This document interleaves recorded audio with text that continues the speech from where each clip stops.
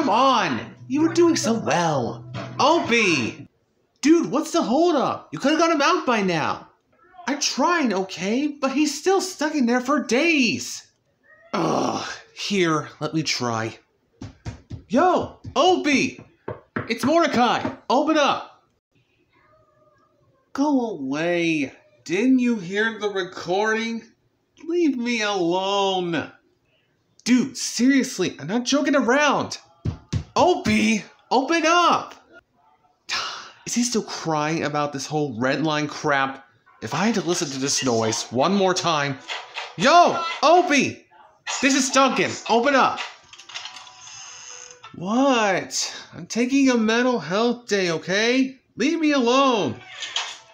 You don't have the right to be sad. You never even had the guts to tell Starlight how you feel.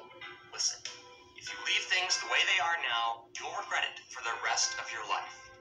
Telling her might not change anything, but at least you'll have closure. You're right, Duncan. I do have the guts to tell her. In fact, I'm gonna go tell her to marry me right now. What? No, that's not what I. Opie!